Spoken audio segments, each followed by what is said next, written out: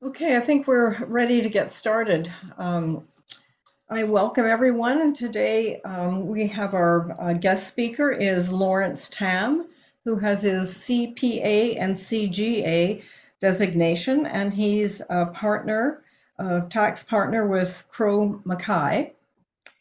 And I just give you a bit of information about Lawrence. Um, he's presented for us before, um, and it was uh, very interesting and good information for uh, for everyone.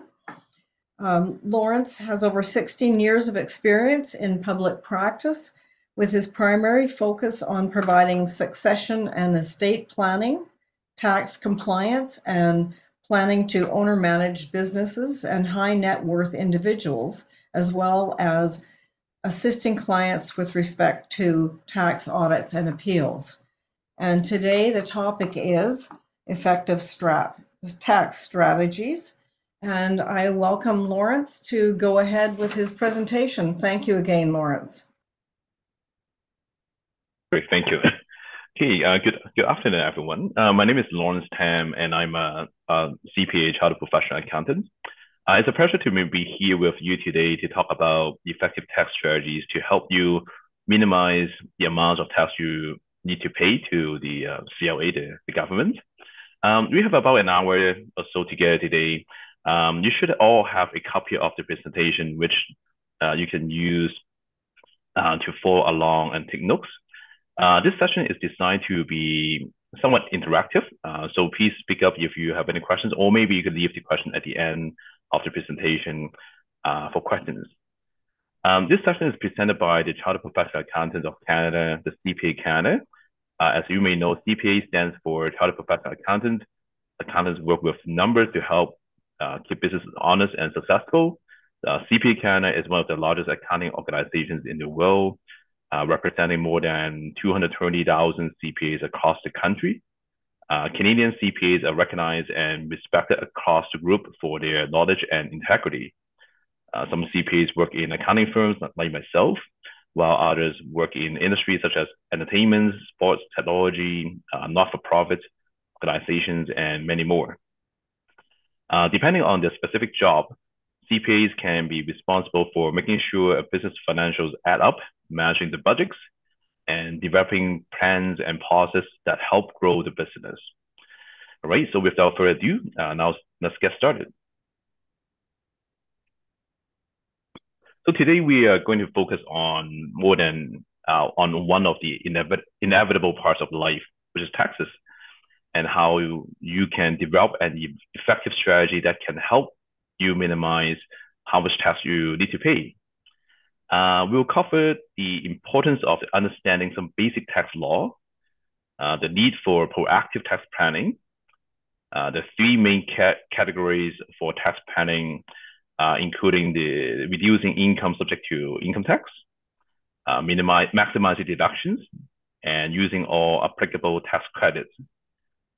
We will also look at some other simple tips and resources that can help save you some tax money before we wrap up for a Q&A session.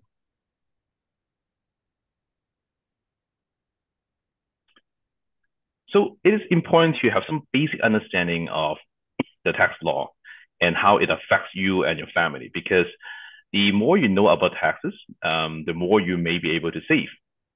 So in contrary to many common or popular belief, um, the Canada Revenue Agency, the CRA, does not does not create a tax law, nor are they the final or uh, or nor, nor are they the final and absolute word when it comes to the interpretation of any given tax statute or tax provisions. Uh, instead, the Income Tax Act is the primary source of income tax law. Um, these laws are created by the Department of Finance, and the tax law are legislated by the Parliament. The CRA, on the other hand, is a government agency that was formed in 1999 um, to administrate to administrate the tax law. In the vast majority of the cases for the average individual taxpayer in Canada, there is little dispute over the interpretation of any particular tax law, and therefore, whatever the CRA published on their website will stay in their position on a notice, notice of assessment can generally, again, I did re-emphasize, can generally be relied upon in the majority of cases. However, um, by understanding that the CRA is not the author of the tax law, uh, but simply the administrator of the law, uh, there may be differences in how a particular tax statute or tax provision is interpreted by the CRA, and there could be some discrepancy uh, on the on the interpretation between the CRA and the taxpayer, uh, especially for more complex and ambiguous tax matters. For my past 16, 17 years of practicing in tax, I I have in fact seen many um, um, somewhat incorrect interpretation by CRA. So do keep in mind that not all the time that uh, the CRA interpretation of the tax law is accurate.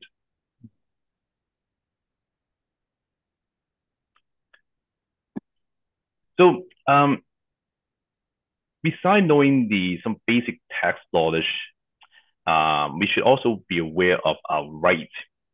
As we all know, tax law changes all the time.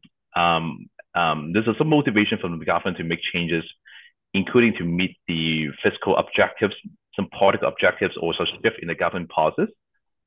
So while changes can be tabled in the parliament at any time, uh, traditionally speaking, the majority of the proposed changes to the Income Tax Act or the tax laws are made through an annual budget, uh, typically released around March uh, in the spring each year.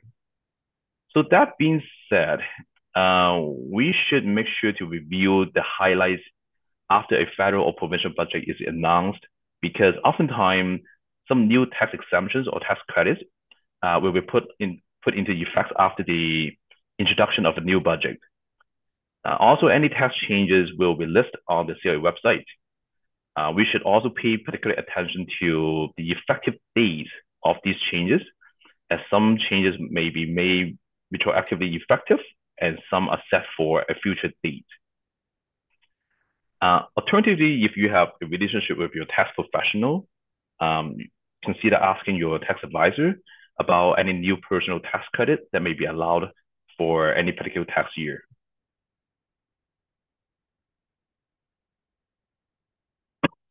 So in Canada, we have um, a um, tax bill of rights that is set of 16 rights confirming that the Canada Revenue Agency will serve the taxpayer with a high degree of accuracy, professionalism, uh, courteousness, and fairness.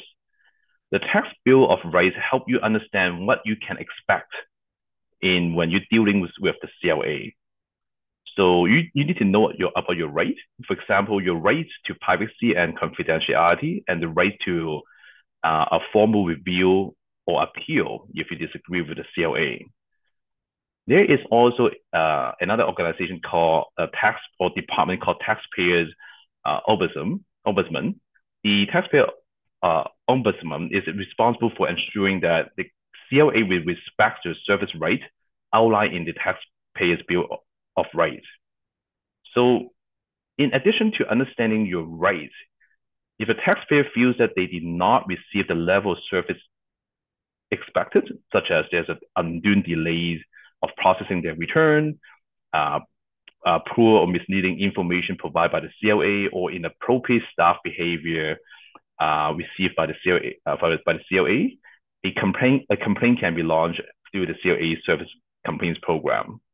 Um, the objective of this program is to create a public awareness about how to file a complaint with the CRA, and for the CRA to track and gather information throughout the process, and to allow them to analyze any trends and identify any systematic issue. Uh, I'm going to put down some contact information about all this uh, uh, organization at the end of the presentation.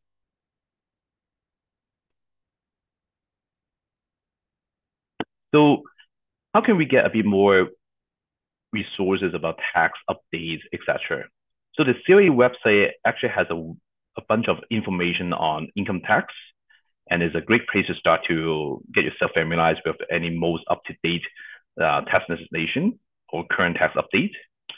Um, I highly recommend that we all stay organized throughout the year, not only to make the time, the tax time a bit easier for you, uh, all your for your accountants, but will also allow you to have access to all your organized information much easier so that you could focus on planning your tax strategies instead of focusing on collecting and gathering all your information um, to be just in time to file your tax return.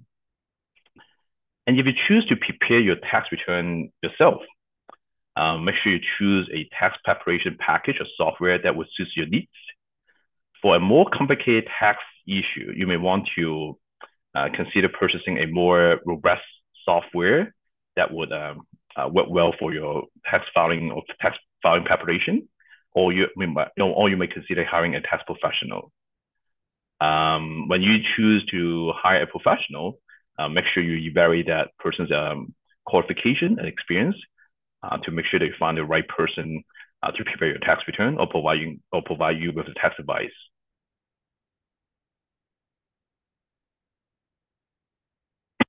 So there's some key consideration when we talk about tax planning. Well, the, the whole purpose of tax planning is to minimize your tax bill.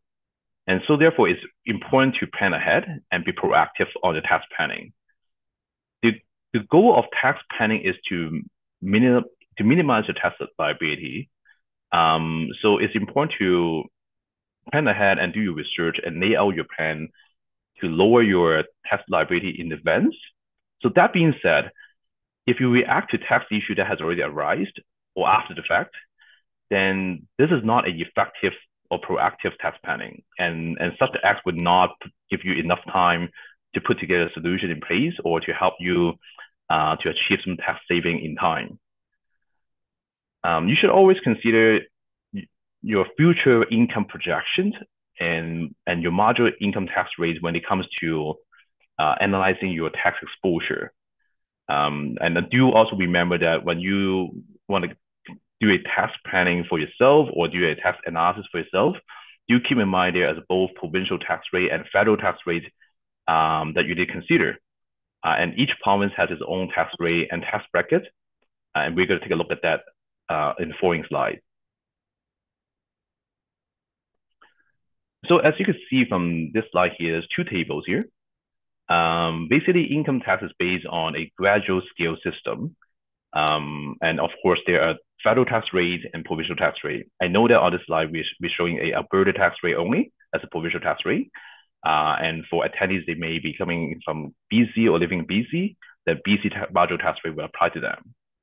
As you, as you can see that the, the, the lowest marginal tax bracket uh, for the federal marginal tax rate uh, would be at 15% for any taxable income earned up to approximately 53, 53 uh, thousand dollars per year, whereas the provincial uh, Alberta provincial marginal tax rate uh, would be as low as 10% uh, for the first 142 thousand dollars of taxable income, and this would go up. This would go up um, if for people in living in uh, Alberta, um, the combined tax rate at the highest marginal tax bracket will be looking at 33 plus 15%. Okay, that would come up to 48% in total. And whereas in uh, for Western living in BC, the highest marginal tax rate will be going uh, will be as high as 53.5%, which is quite high because for every single extra dollar you earn, you might possibly be paying uh, more than half of your earnings to as tax to the government. So given the fact that we need to pay a lot of tax if as you earn more, so what kind of tax savings um, option we might have? Well, the bad news is there are only two types of tax saving. One is called an absolute tax saving. The other one is called a deferred tax saving strategy. So the absolute tax saving approach, you know, um, by the name of it, by the name of it means that the tax can be saved and avoid completely. Uh, whereas the tax deferral approach uh, means that the tax are not immediately payable in the current year, but can be deferred or pushed out to some other future years.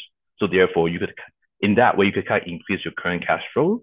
And also for the time value of money, um, the later you pay your tax bill, the better because you could use um, the money on hand to do something else. Um, well, besides good news, sorry, besides the bad news, the good news is there are many ways to take advantage of these two types of tax saving. And we will go over some example uh, of both types of tax saving in the following slides.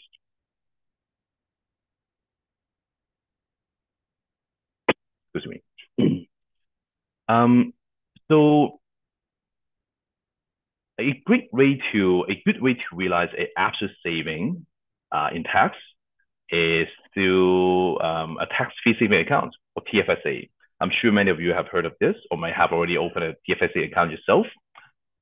Now, the tax-free saving account, uh, although it is actually a money you put in, it's, sorry, it's the after-tax money you put in to the saving accounts to earn tax-free income uh, through this tax saving account. Um, and the contribution amount you could actually contribute to this tax saving account uh, will depend on the annual prescribed annual uh, contribution limit prescribed by the government, currently at $6,500 per year. Uh, but the total contribution room you might have uh, will based on this formula on the screen, which is the annual contribution allowed by the government, which is $6,500 per year currently, uh, plus any unused uh, previous year TFSA contribution amounts that you did not use, plus any total withdrawal in the prior year. Um, so just to one catch about this, which is on the contribution amount, the total withdrawal in the prior year. I'll give you an example here. If, for example, if you take away, sorry, if you withdraw uh, $10,000 from your tax-free saving account this year, uh, you are allowed to recontribute whatever you take out uh, in the current year in a subsequent year. Uh, so again, if in 2023 you took out 20, uh, $10,000 from your tax-free saving account, after December 31st of this year, okay, around the corner of the of the new year, on January 1, 2024, you are allowed to recontribute back this $10,000 uh, into your tax-free saving account.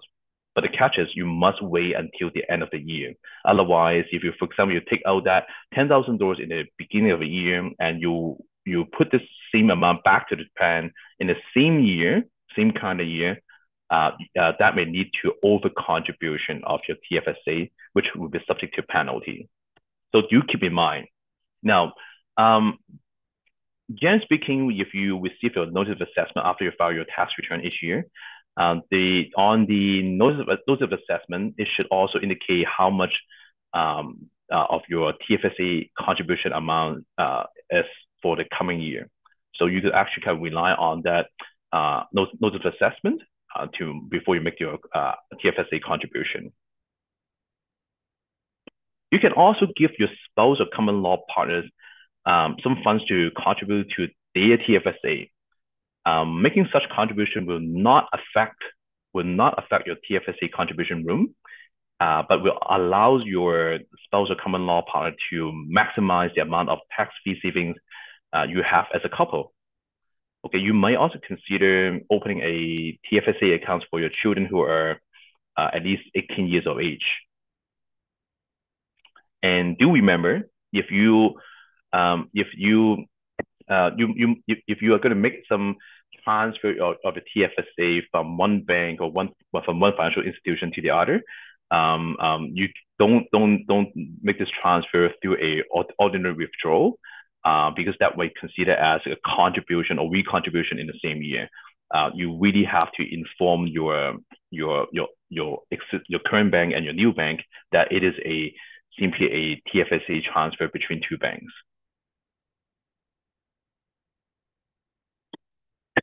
So as I mentioned earlier, this table briefly shows the available contribution maximum amounts that you could contribute to your TFSA. So as you can see, when the plan was first introduced back in 2009, um, the annual contribution amount was only $5,000. Uh, at some point in 2015, it got increased up to $10,000 per year. Uh, and then now it has gone back down to $6,500 uh, as for the 2023 tax year. So for any individuals who have never contributed to the TFSA, the cumulative amounts that that person can contribute uh, will be $88,000 in total by the end of uh, the uh, by the end of 2023.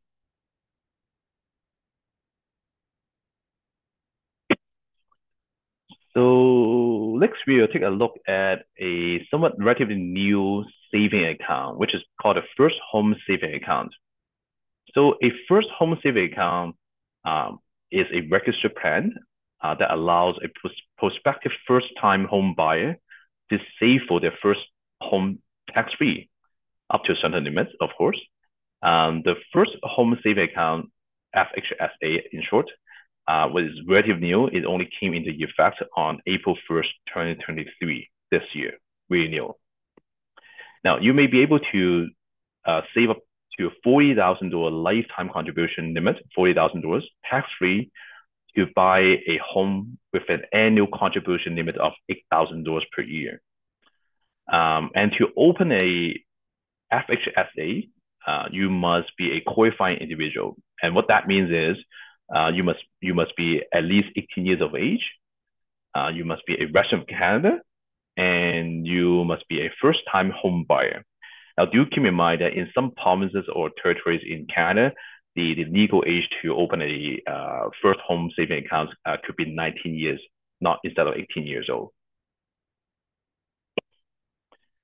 Um, and for the for the purpose of opening a uh, FHSA, you will be you will you will be considered to be a first time home buyer if you did not at any time in the current calendar year or or or when you before you open the the account or in any of the preceding four calendar year uh, that you live in a qualified home as your principal residence that you own or you jointly own with someone else.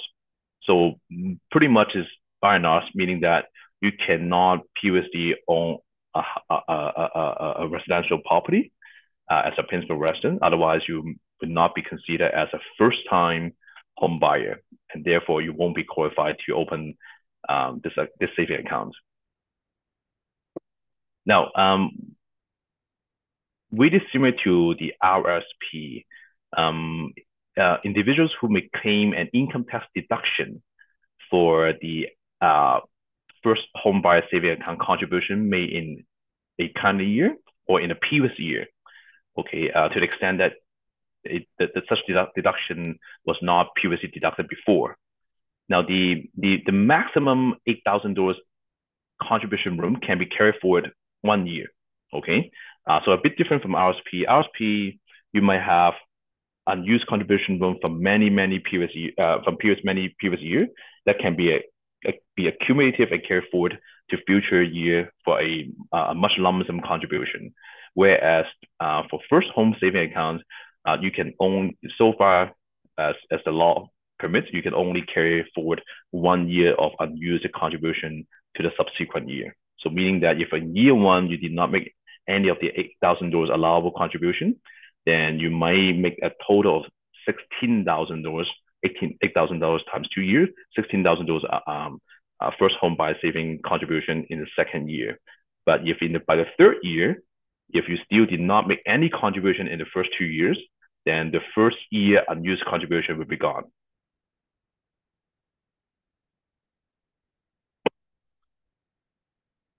Uh, you may also transfer your RSP to your uh, first home buyer saving account. Okay. Uh, however, any of this transfer amount from your RSP to your first home saving account is not tax deductible. Okay. Um, the first home saving account also have uh, the deduction uh, attribute just like the RSP, as I mentioned earlier. Um, and and and also the withdrawal requirement is somehow restricted too. You cannot uh, simply withdraw the money out from your first home saving account um, tax free. You could only withdraw that when you actually use the funds to purchase your qualified home as your first principal residence um, that you own or you will jointly own with someone else. So what type of uh, investment can you put in the uh, first home buyer saving account? Well, generally speaking, anything that you can, any any type of investment you are allowed to put into your RSP will pretty much be allowed for first home saving accounts, such as a term deposit, GIC, mutual funds, bonds, uh, investment in uh, property trades, stock, etc. Uh, some people might actually prefer to run this first uh, home saving account under the self-direct plan so that you can manage your portfolio. Okay. Uh, but do keep in mind that there is a maximum participation period for this plan, meaning that there's a life for the first home saving account. Uh, and the life for that is uh, the maximum of, of time you could hold on to this, on this account is um, uh, either the 15 years since the, the since you open this uh, saving account, uh, or when you turn the age of 71, or when you withdraw the money out for your first uh, qualifying withdrawal for your uh, for your for your home purchase. So whatever comes first, then you have to close this account. Meaning that if nothing happened, you you haven't turned 71 yet, and also you never really purchased your uh, take the money out to purchase your first qualified home. Uh, but the 15th anniversary from the day you open your first uh, uh, home saving account, you will have to close this account to avoid any negative tax consequences.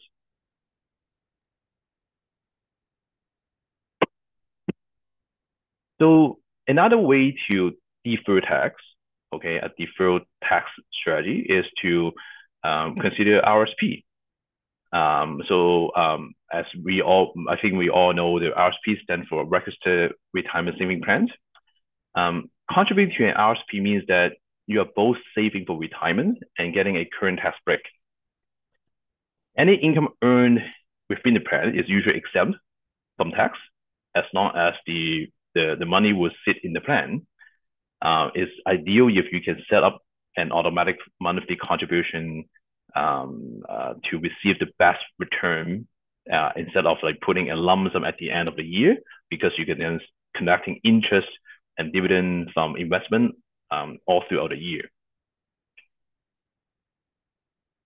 Now, um, do, do keep in mind that even though sometimes you may not have any taxes payable on your tax return, um, you should still file a, a, a, income tax return because your RSP contribution room is based on um, uh, uh, the, the, the earned income you report on your tax return. So without filing a tax return, um, the CRA would not be able to confirm any new RSP contribution room for any particular tax year. Uh, you don't have, and also uh, as we all know that any RSP contribution you make in a current year can be claimed as a deduction in a year.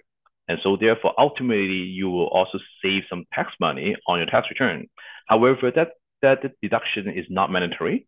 Uh, you don't have to claim the deduction in the same year you make the contribution.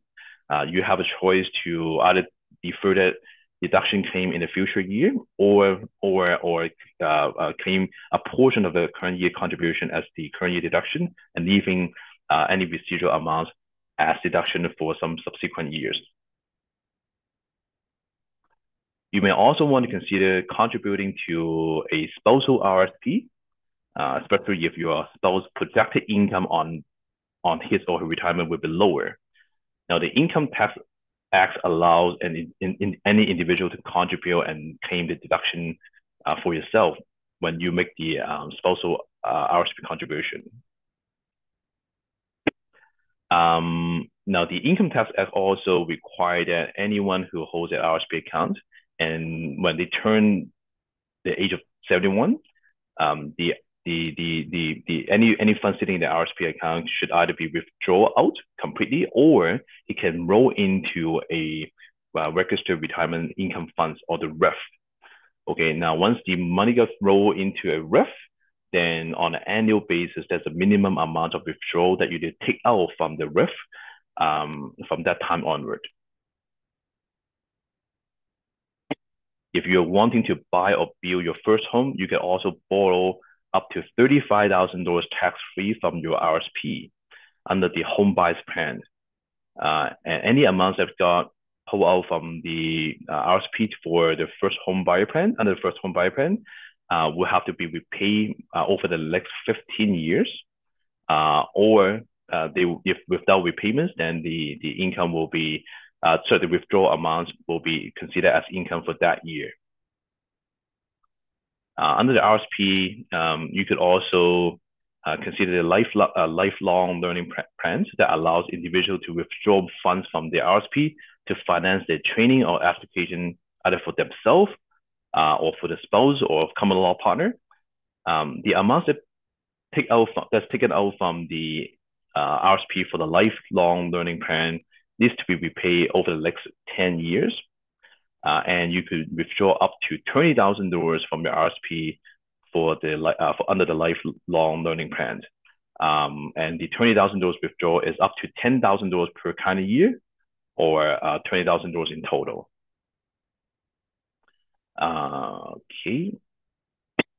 Next, we will take a look at the uh, some other example for deferred tax saving. Uh, and we're going to look at the our, RESP, the Registered Education Saving Plans. So the RESP is a good way to save for a child's future education. Uh, and because this would actually allow um, them to have a saving part aside for their future education. Now, any any money that earned with the RESP plan is also tax free. Okay. Now, there's some terms that I want to quickly uh, define here before we, we, we, before we discuss a bit further about the RESP.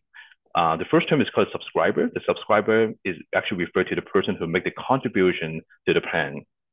Um, the term promoter, uh, basically the, the easy the easy way to put this is the bank or any financial institution you you you you you have your RES, RES plan with.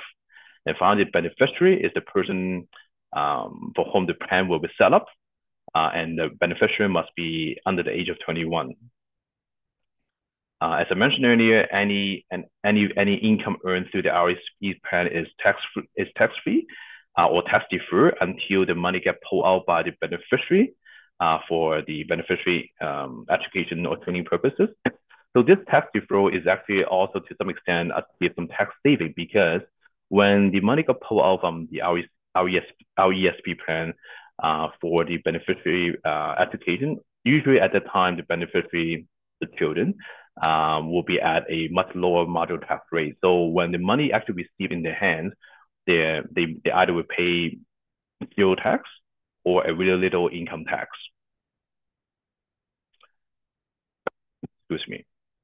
Now, however, different from RSP or the uh, uh, tax saving, uh, ta uh, the home first home saving account, um, any contribution to any contribution made to the uh, RESP plan is is not is not tax deductible to the contributor. Okay, uh, um, and um, uh, and and and and however, however, the government actually have a um, say uh, education saving grant program that will provide up to 20% of your uh, of your first $2,500 of annual contribution, uh, or up to a lifetime maximum $7,200 grants provided to the plan. So, for example, if you contribute uh, $2,500 uh, uh, to your RESP plan each year, then you will have receive about $500, which is 20% of the RESP contribution as a grant from the government. And that, that grant can be used towards the, the, the beneficiary uh, future education.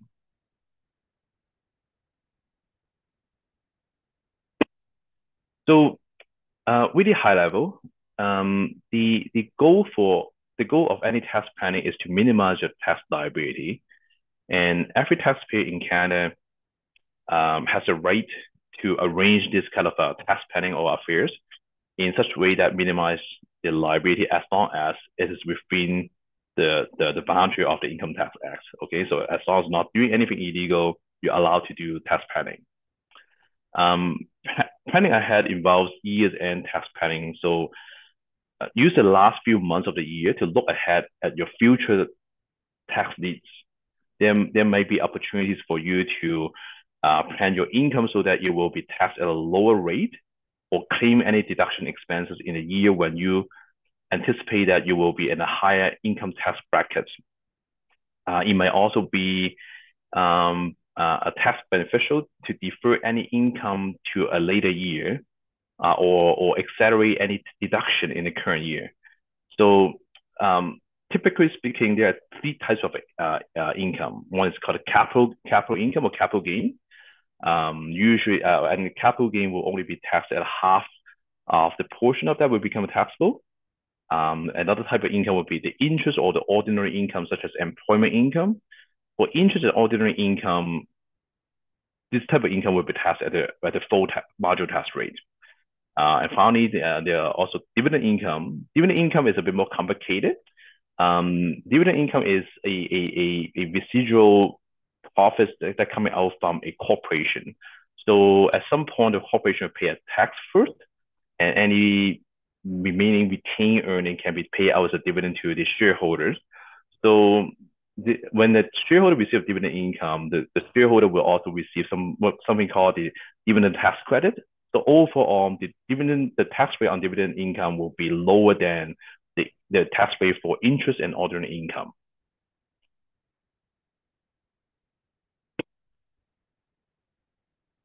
So um, again, really high level, you did you did define your goals, uh, what you what you're looking at, uh, what you what you anticipate and foresee your income will be in the coming years. Okay, uh, we view that at the at the year end and look at to to ensure that all deduction and credits are taken appropriately. Uh, the overall objectives in tax planning is try to defer income or uh, or increase or increase expenses or increase the deductions. And when you try to achieve some tax goals, keep in mind there are three fundamentals. Um, um, one is to lower your gross and taxable income. Um, two is a, to take all allowable deductions as possible. And three is to use all available tax credits for you. Now, deferring income to another year is the same as decreasing your current year's taxable income. So you should consider the timing of the capital gain for example, if you think that, hey, I'm going to have um, um, um, less income next year, maybe I should consider of selling my capital property next year instead of current year.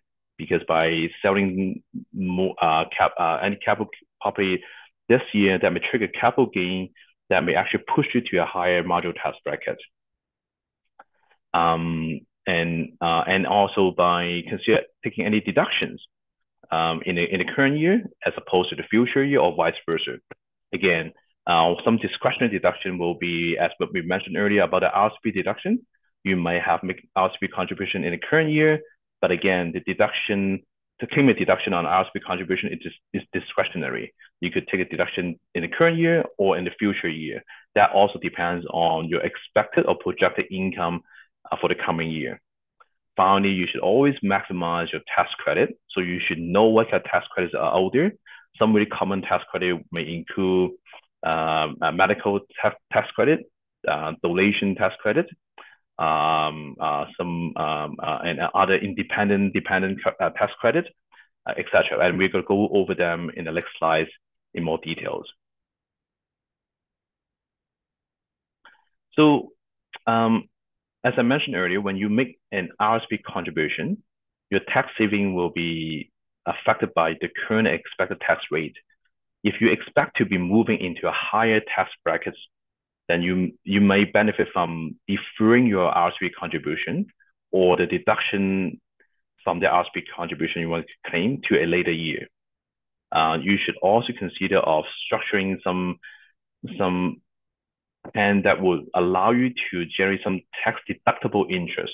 Okay, so for example, if you are going to um, um, borrow some money out from your uh, home equity um, to for, uh, for, for, for, for, for investment, any interest coming out from that uh, loan should be deductible against your um, investment income.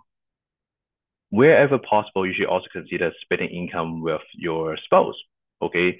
Although that income splitting strategy is not always allowable in today's tax rules, uh, so uh, special, uh, special or careful planning is needed. Uh, you should also consider of um, um, uh, trying to be coming out flat on your tax return, meaning that um, not only that you should not having a lot of uh, tax refund, uh, of course, you also don't want to have a lot of uh, tax payable if you expect that you will be making up have a tax payable on your tax return, consider of making some tax installment upfront because any shortfall on the tax payment on your tax return may actually trigger a um, uh, interest charges. And these days, the interest rate is really high. The, the CRA uh, uh, interest rate on uh, unpaid or underpaid um, taxes is currently at 9% annual rate compound interest. Uh, however, on the other hand, if you think that you don't need to uh, pay too much of the tax upfront, um, you might, for example, talk, talk to your employer and fill out a form to reduce any uh, source withholding tax from your employment in income. In this case, you don't have to be sending in too much of the tax upfront to the CRA.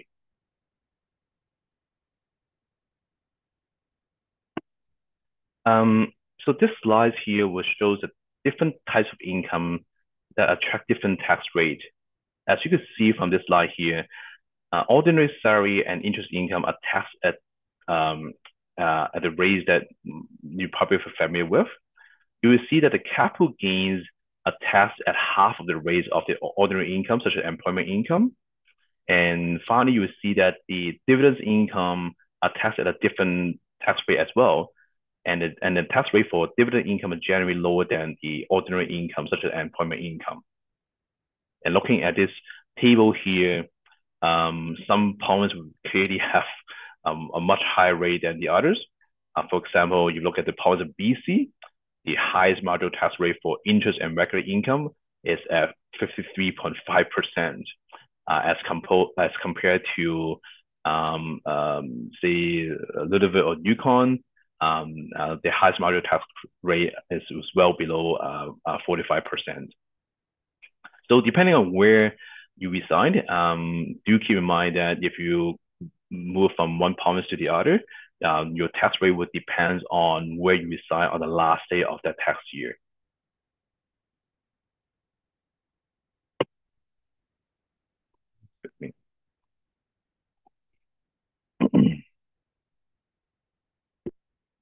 Um, as I mentioned earlier, uh, as an employee, there are really limit really limitation on how you could lower your taxable income, uh, because there are really strict the really strict limitation on the type of expense you can claim.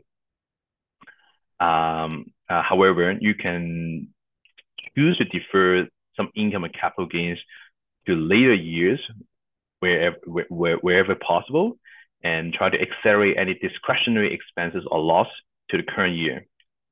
Um, for example, perhaps you could redirect uh, those funds into investment or retirement saving plans uh, when you eventually report this deferred income, uh, you you may you may be in a lower income tax bracket and pay less tax. Um, uh, you can also defer some discretionary expense of deduction, such as our such as RSP contribution, um, to, uh, to a later year when you expect that your income will be will fall under a, a higher marginal tax bracket in, in, in those years.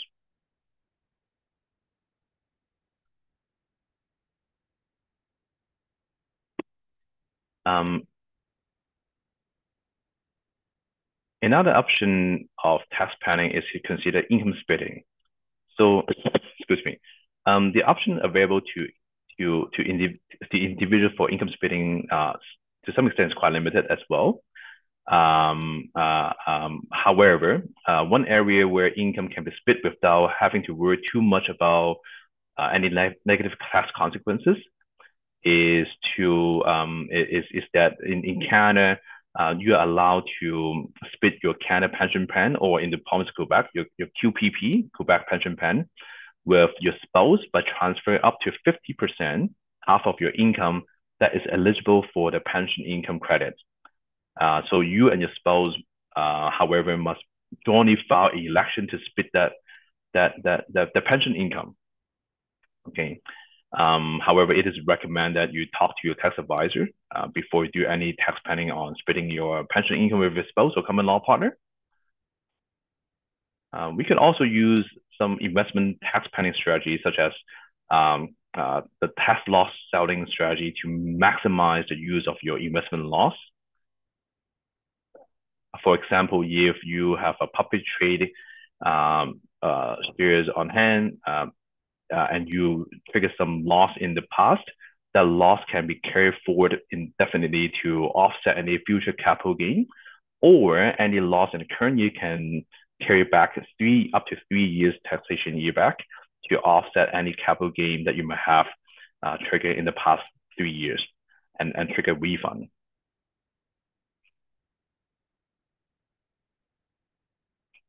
Um, some other expenses that you could consider of taking, it will be if you have um, vehicle expenses, for example, um, uh, uh, a taxpayer who are self-employed, they might need to incur their vehicle, uh, they might need to incur vehicle expenses um, to, to, to earn the self-employed income.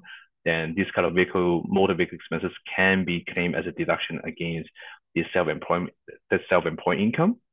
Um, we could also consider donating public trade securities to charity, and that would also uh, trigger a donation tax credit um, to overall reducing your tax bill. So before we move on to tax deduction and tax credit, I want to clarify the difference between these, this, these two terms here. So a tax deduction is an amount that will reduce your taxable income. So for example, you're looking at this table here. If your income is $100,000, but you have a tax deduction of 1,000 and you're tax and you're at a marginal tax rate of 37%, the tax saving from claiming this, this tax deduction will be $370. However, on the other hand, if you could claim a tax credit of $1,000, the credit itself will give you a refund or reduction of your tax bill on a dollar for dollar basis. So clearly, if you could get a tax credit, which is clearly is much more beneficial to having a tax deduction because tax deduction is only to reduce your overall taxable income and you will only get the difference based on your marginal tax rate. Whereas the same amount of tax credit, uh, you will actually get a dollar for dollar tax benefit. So uh, now we can take a look at a closer look at the tax deduction here. Um, some deduction that we we oftentimes will come across of will be childcare expenses, moving expenses. Uh, I mentioned earlier about the RSP and uh, FHSA contribution. Uh, you could also claim a deduction on interest that was incurred to earn investment income, okay, or uh, used to to to to to to put in investment. Some other deduction may also include union or professional dues. Uh, now, um, do, keep, do, do keep in mind that uh, in, interest deduction on borrowed money is, is sometimes is relatively restricted as well. So the, the rule of thumb is the interest must be incurred to earn income from business or from property, such as you, earn, you have to borrow the money to buy, let's say, a rental property. So therefore, you'll be rent, you'll be earning rental income from the property. You might be uh, uh, borrowing money to to to to invest in stock, which would turn into uh, a capital gain or dividend income to you. So this kind of interest, this kind of investment or interest related to this kind of investment will be will be deductible. Okay. However, interest on loan that is for all other purposes, such as you you might have incur interest on a, a, a, personal mortgage to purchase a personal uh, residence, that does not need to any income uh, earning of any income, then interest on such a mortgage will not be deduct will not be deductible for, for tax purposes.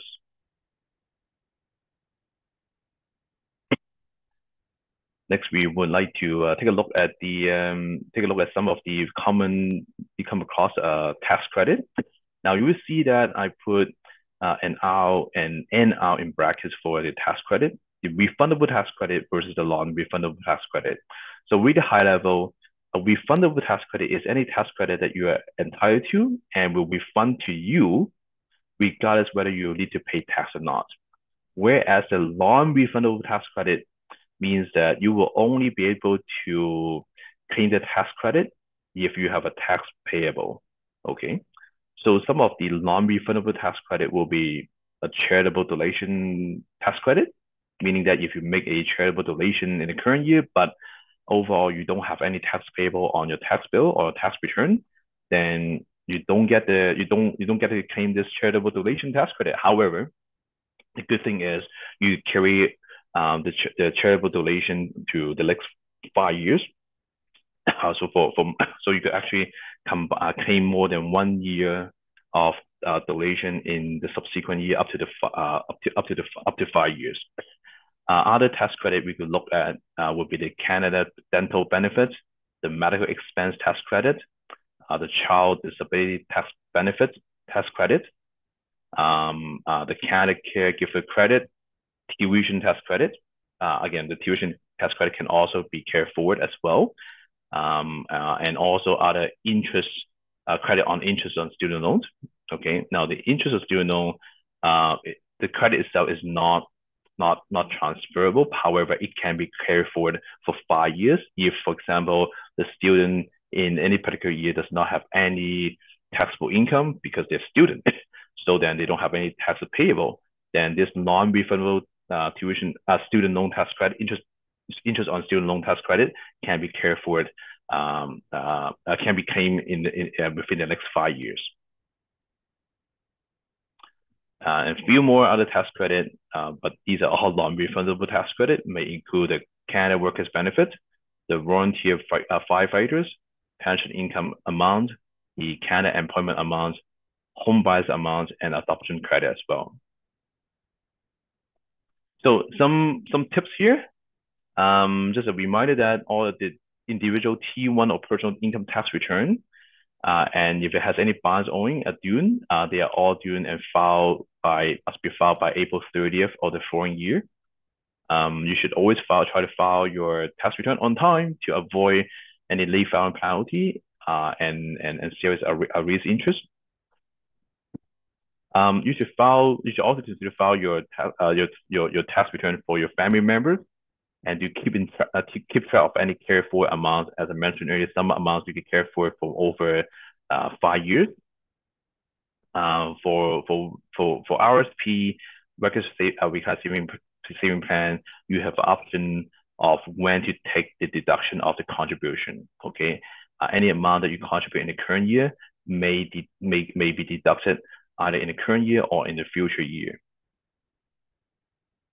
Uh, do keep to keep your notice of assessment available to to review your RSP contribution limit for the next year. Um, uh, uh, because oftentimes when you go to the bank, the bank would not know how much RSP contribution room you might have. So therefore, uh, by referring to the, no, the, to the assessment notice that you receive from the CRA uh, for the most recent year that you file your tax return, that should give you an idea how much RSP contribution you might you might make for that year. Any over any over contribution will be subject to uh, a penalty and interest charges. And as with any personal financial matters, uh, keeping details records is really important uh, as, it, as the burden of proof is actually with the taxpayer, not with the CRA. So part of your plan should include the steps that you will take to gather and maintain your records Okay, this includes that you should have a good records of your bills, uh, backup, uh, some backup documents, your credit card statements, your expense receipt. Uh, you should also retain uh, your stock transactions, uh, any housing or, uh, or business uh, uh, or rental property expenses records. Okay, um, so uh, so and you should you should be doing this on a regular basis instead of waiting till the end of the year. Uh, so that would you know that would actually save you a lot of time and a lot of hassle when you when you are um, getting close to the filing deadline of a tax return. And as I mentioned earlier, here are some uh, useful resources. You could consider taking a picture, or I, am sure that you already have a copy of um, this PowerPoint presentation slide. Uh, so you could always refer to these online resources provided by the CRA uh, you, uh, to get familiarized with the tax law or any tax update. Uh, I think that's it. That's kind of wrap up my presentation for today. Um, and I now open for um, um, questions. Um, and just want to put a disclaimer notice here. Well, that's great. Thank you so much, Lawrence.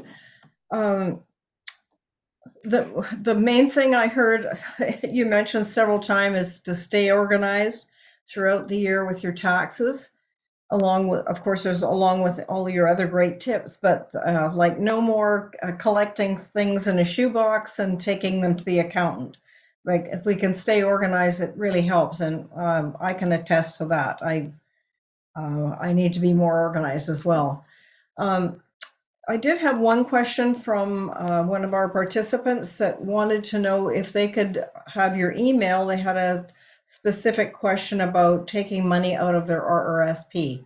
So, um, with, Uh, yeah, yeah, I'm more, I'm more than happy to uh, share my email address uh, with all the attendees today. Um, so um, I think the best way maybe um, they could email you, and then you could sh- share that with uh, with the Okay. with anyone who needs that that email address.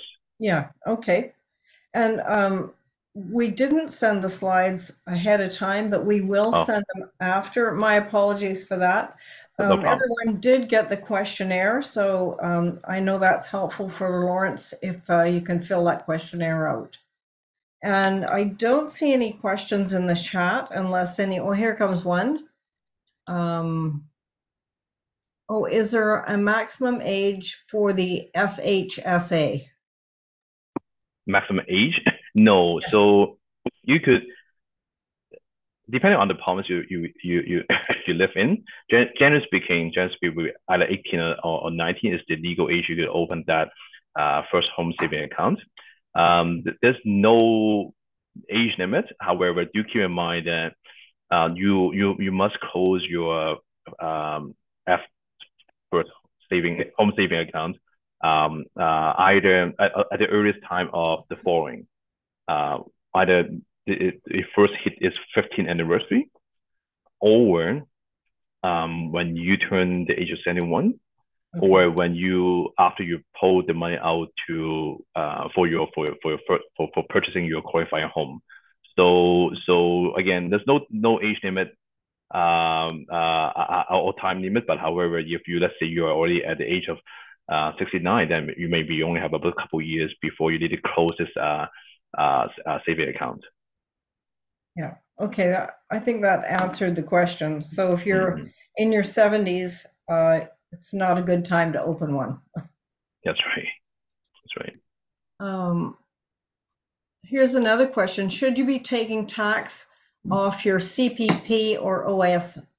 OAS? You'll be taking tax. Well, when the government give you the sort of taking tax on CPP, I I, I believe that um, the question is asking about should there be any tax with, withheld on the pension that we receive from the government? I assume, Yes. right? Right. Uh, I assume that's that's the question. Um, uh, so again, anytime when you receive some kind of a government benefits or uh, or, or, or subsidy, um, generally speaking, the, the government would have already uh, calculated any withholding tax on the amount. Uh, the pension income, the CP itself should have some withholding tax on it. Uh, however, um, the, the when you when you prepare your tax return, if overall your annual income, let's say, fall below a, a threshold, I think now the basic exemption is about 15, approximately fifteen thousand dollars per year. If some, if somehow that your uh, your your your your integrated or your all your income fall below that that that that that basic personal exemption amount, then you will get any withholding tax uh, back as a refund. Okay, good. I've got another question. If an Sure. FHSA is closed because the holder reaches, uh, reaches the age 71, is Mm. the amount in the FHSA account taken into income and taxed? Uh, yes, because when you when you take it, when you take it out again, any any amount in in uh, no uh uh sorry uh so the the the income you put in there because you could it's be treated as like an RSP as I mentioned earlier. The contribution you you, you amount you put in there, we similar to RSP, you can take a deduction. So therefore, yes, when you take it out, it will be considered as a taxable income in the year you you you take it out because you also had the advantage of fund to to claim a deduction when you make a contribution. Yeah. Okay, But but again, generally speaking, if you pull it out um, for for for uh, let's say because of the uh, age of seventy one, hopefully by that time you you, you could be a, a lower marginal tax bracket. yes, yeah. Okay, I don't see any more questions, so I just want to thank you so much, Lawrence. I really appreciate you putting in your time uh, for TB Vets and for um, all of our participants. Thank You're you. welcome. You're Yeah. welcome.